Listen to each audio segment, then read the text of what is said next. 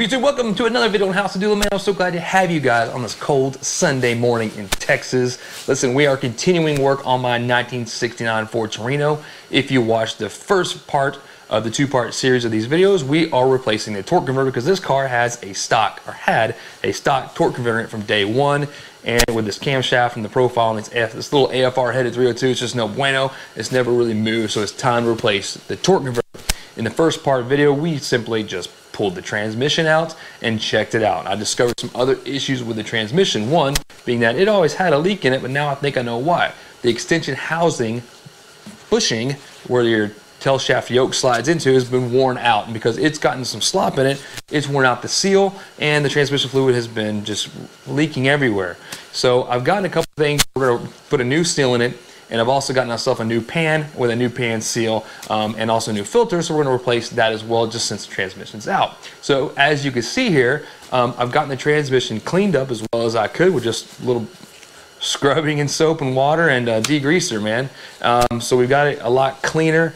Um, so now let me tell you a little bit about this torque converter before we slap it all in. So this is the torque converter I got online. This is the whole reasoning for pulling the transmission out to begin with. I got this for such a good deal. Um, this is like a 24, 2500 stall torque converter. I think it's 2400 stall uh, torque converter-ish. Of course, it depends on a lot of things. We're not going to get into the dynamics of torque converters today. There's plenty of other info on it. But nonetheless, I purchased this. It is a 26 spline. I've done research on my transmission, and despite what I thought, I was wrong. Um, 1969 C4 transmissions have 24 spline input shafts, so this one simply won't work. You can go through all kinds of trouble if you wanted to, to, you know, take this apart, replace a stator inside of it with a 26 spline, rebuild the entire transmission and, and change the input shaft to a 26 spline, blah, blah, blah, put a whole new transmission in it, whatever. Simplest and easiest thing to do is just get the right torque converter for it. So for that, I did this. Okay, I called up Hughes Performance and I gave them a long spec sheet of everything that's on my car. The things they need to know are tire size, gear ratio, weight of the car, most importantly, your camshaft profile and duration, and your lift at 50. Um, so they can get a, a, good idea of where your power band is. I know this car starts making power at about 2600 RPMs and it's really, really starts pulling at three but it sounds cool. And um, do keep in mind, this is all sort of temporary, so I'm not gonna go out and spend five, $600 on a torque converter because eventually this thing will be going away for a C6 and 460 big block combo. So I called up Hughes Performance. They had a uh, nice price on this one and lots of really good reviews. So here we go. It comes with new torque converter bolts. This is, guys, a 20, 24 spline. Part number on this is a 30-25, and this thing stalls at 2,800 RPM. This is the one that they recommended putting into my car. So this is what we got. So I'm really excited to see how this car is going to run with a fresh high stall, higher stall torque converter, and I just can't wait to get into the car. So this is what I've purchased. If you guys are interested in the TCI converter, um, I'll give you the part number on it real quick right now so we can just get moving here. Okay, I've also purchased this Trick Flow pan. I decided while I was at it to get rid of any pan leaks that may be happening. I know there's pan leak leakage going on here too. So this is not an unboxing video, I just want to show you guys this piece. This is a Trick Flow Racing C4 pan with a drain. Okay, I've got a Moroso rubber pan gasket. I like the rubber ones. It's got the, the metal steel stops on it so you can't over tighten them and crush them. I got in a standard filter for the uh, 64 to 69 C4. This is a gasket for the tail shaft housing since we're going to be pulling it to replace the seal. Here's the Timken okay, tail shaft seal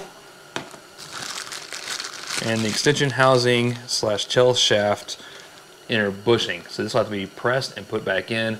Let me show you guys a little bit of something about this real quick before we move on. Okay, so if you look at the drive shaft yoke here, in my case what happened is this thing ran dry. Uh, we ran, I guess, it, it, leaked out enough fluid in it that when I was underneath the car and the tail shaft was installed, um, there was slop in here. There was enough slop that I thought it was the U-joints. Um, there shouldn't be any slop in the yoke once the transmission or the tail shaft is installed. Now once this has been pulled, you'll notice that you will have a little bit of play, and I can't show you here, but you'll see that the tail shaft the input shaft there is definitely um, or the output shaft, excuse me, it's definitely got some play in it. But once you install this, um, the, that should all go away because you've got this piece that's pressed inside the tail shaft housing that your tail shaft actually, your yoke slides into. So notice that this is a perfect fit. It slides up and down in and out of it. Um, this component here, this component here stays lubed with transmission fluid and the tail shaft extension should all stay lubed and uh, keep this from happening. If it runs dry, what happens is you're going to start mauling it. When you start mauling it, you'll start creating drive shaft wobble. The drive shaft wobble will help increase, of course, the walling out of it, um, the wear and tear on it, and it'll also help increase your leak through the transmission seal in the bag because what happens is your drive shaft is no longer straight. So, okay, you gotta help control leaking. I went ahead and just put this board on it. Got a couple pieces of cardboard back here pushing the uh, the snout in so it spins here, but it's not going to pull out. Uh, the purpose of this is just to make sure that we don't have a huge leak. It's going to tilt the transmission up on its bell house to get the tail shaft off, and it's going to be a mess.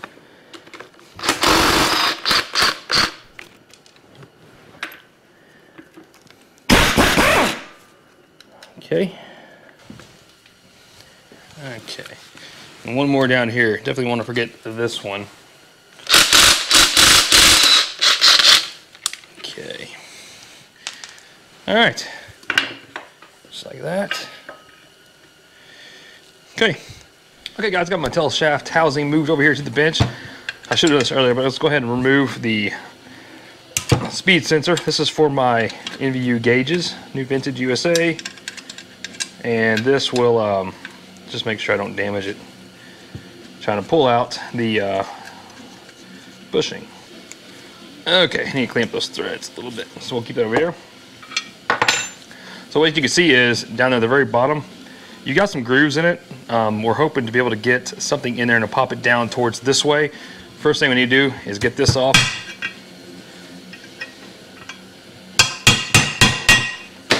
There it goes.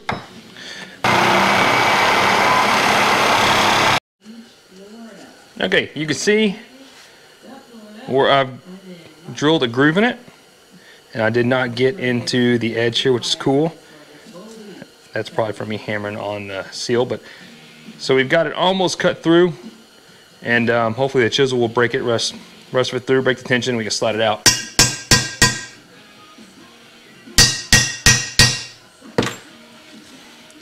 There it goes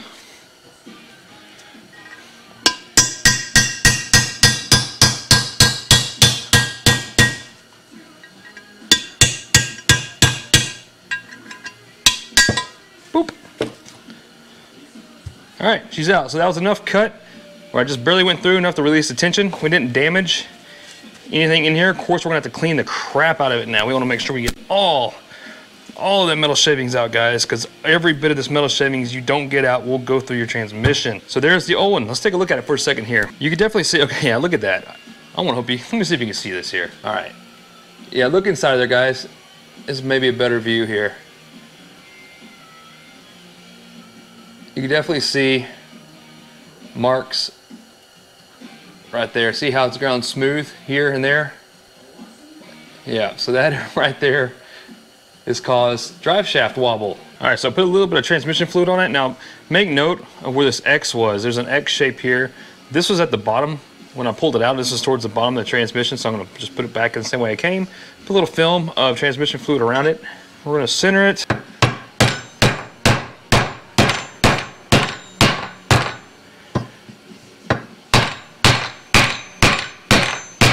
Okay, so that's driven halfway in. There we go. That worked out about perfect.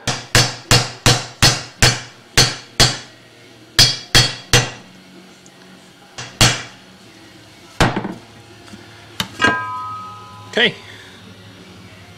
It's about perfect. Cool. All right, now we're gonna tap the seal on the back of the tail shaft housing here. This seal, I went in and got one with the X rubber boot. And I thought this would help keep kind of some of the extra you know, debris out. And uh, so it's got your normal seal inside. It's a Timken piece and it's got the extra boot on the outside. The problem with this is you can't put a board flat across it. So since I don't have the correct tools for anything, um, this is a hub removal tool from like a 95 F350 and it fits around it perfectly. It just happens to have these tabs here. So I'm hoping we'll drive this down with this. Give a couple spins. There it is, hear that solid clink? That's it. Okay, now we're gonna do is replace the gasket here. This should, if we're lucky, just pull right up. Perfect. And what we'll do is just make sure the surfaces are nice, dry, and clean. Okay, we're gonna install this gasket dry. Install our tail shaft back.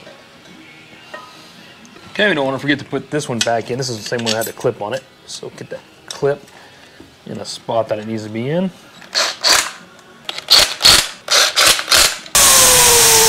And we can lower it down just like this.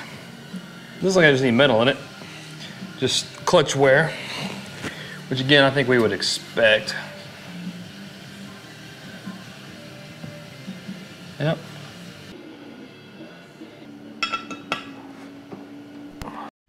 Okay, so I got the transmission pan on. The new pan looks pretty good. The new gasket, so we shouldn't have any leaks there. So I'm just kind of, you know, kind of going over the transmission some more here. What I've noticed is this line is your output to the cooler. This comes right off the punt, excuse me, the pump. This goes right off the pump and this goes up to the front cooler and it's returned in this line. This line is responsible, I believe, for feeding the tail house. And I want to make sure that the tail house itself is getting fluid, but it looks like we've got a crimp in the line right here, so that's not helping our flow. I'm gonna try to decrimp that a little bit if I can. I may have to replace the lines, but this one over here is, it's loose at the connection right there. So what I'm gonna do is try to loosen up uh, this one to tighten this guy in before I tighten this back, but this one's really stuck. So I've started rounding off the bolts, so I wanna be careful, but all right guys, so the trick is the right tool. All right guys, that'll do it. Okay guys, the transmission is looking a lot better. I went ahead and just crimped these things back open a little bit, opened it back up a little bit. Um, I think it'll be fine, I really do. I don't think it was ever close up. But what I'm doing now is I want to make sure that the four holes, this is a 10 and a half inch bolt pattern. You got four bolts on the 69C4. What we want to do is make sure that these are not any thicker than the stock ones. So I'm just kind of measuring this. We'll go over and measure the stock converter, or we can crawl under it and look at the flex plate to make sure that it's the same bolt pattern or the same size bolt. Because I've read that some of these higher performance ones um, sometimes you need to open them up a little bit just a hair to make it easier for the torque converter to slide into the flex plate. So you don't want to open up too much because you know it definitely cause some plays. And then uh, you can have some issues with the transmissions clanking pretty hard because the torque converter is spinning on the flex plate or just you know got a little bit of play so we don't want that but I am making sure this is the same size before we go about taking the old one off Perfect. It's the exact same size. Don't have to worry about modifying the flex plate. Okay, another thing to talk about real quick here is the kickdown linkage, which is clearly broken. I'm sure you guys noticed that. I had a mismatched bolt on here, or someone had a mismatched bolt on here that was causing a lot of slop and play in the kickdown.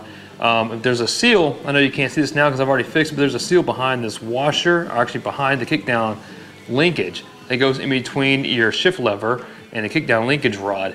So that had so much slop in it, this is another area for it leaking. I went ahead and found the correct bolt for it, put a lock nut on it, and a bigger, thicker washer here, and then we've got this thing nice and tight. So the kickdown works Once we'll get our cable replaced, and uh, yeah, shift linkage is good. So basically, that was another spot for a leak that hopefully we resolved. Okay guys, what we're gonna do now is dump in a good quart. We want to prime these things. You never, ever want to put these things on the motor dry and then fill it up and let the pump do its job because you don't want to start these up dry.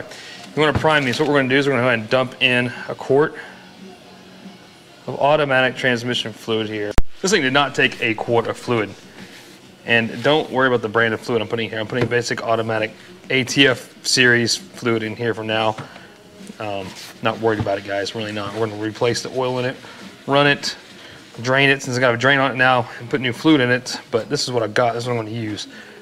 This transmission fluid says, they say on the, this converter says use a quart, but it is half a quart, and it's overflowing. Like I can see the fluid right here. Okay, so this thing is not gonna seal until your transmission, until your pump shaft actually goes over. So this is gonna lock in into the case. There's some splines in here. There's gonna be two clicks in here. Actually, there's gonna be three clicks. Your first click is gonna be your input shaft. The second one's gonna be your pump shaft. And the third one's gonna be these notches right here. So you wanna make sure there's three clicks and this thing goes all the way in. Otherwise you could damage your, your pump. So what you wanna do is just slide it in.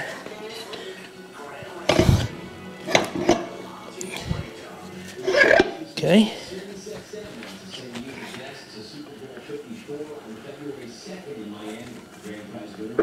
Okay, there's one, two,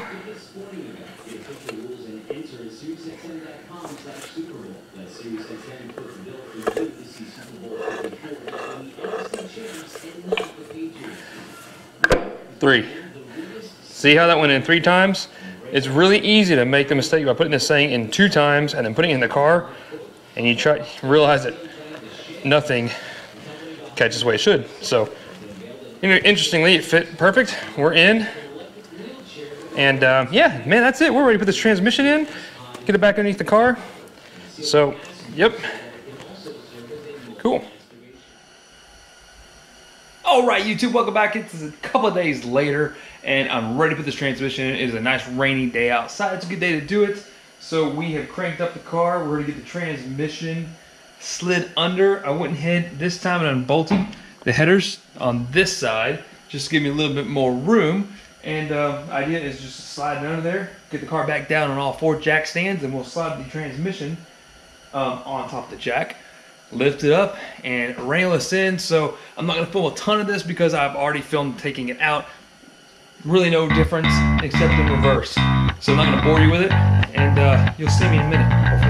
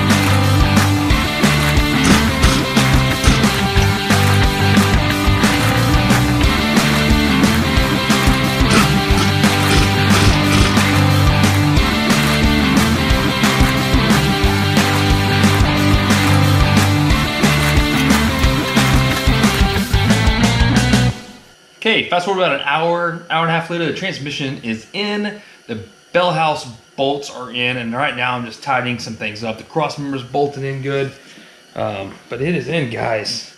So the hard work has been done. Now we just gotta clean up some of the mess. I've already tied up, I've taken off the old linkage here for the uh, kick down, and um, looks like the uh, cable came unhooked for the throttle, or the uh, throttle cable, or shifter cable Looks like the shifter cable came unhooked. But all the bell house bolts are in. Most of those are done from the top side of the engine. And since I have this header undone right now, it made it so much easier. I should have done it earlier. So this rocks because I am just flying through it now. Like sailing away. Oh yeah, that's awesome, dude. I'm excited. I'm Really excited. All right, man. Hey, listen, that's going to do it for this video. You guys are going to have to stay tuned to part three because in part three, we will be putting fluid in this. I got to bolt the header on, put fluid in it, and we will be driving it. It is nasty and rainy outside, so I'm going to call it a night. But the next part. You will be seeing us driving it and testing out this new torque converter. So I am really excited, man, to get back into Torino, get it driving again. And we got some things coming up on the Mustang too. So listen, I'm gonna end this video right here. Thank you guys for watching. I hope you guys are enjoying um, a little bit of work here on the Black Torino. And um, yeah, man, stay tuned. Stay tuned for more content and make sure to subscribe. Make sure to follow me on Instagram and we'll see you guys next time. Take care.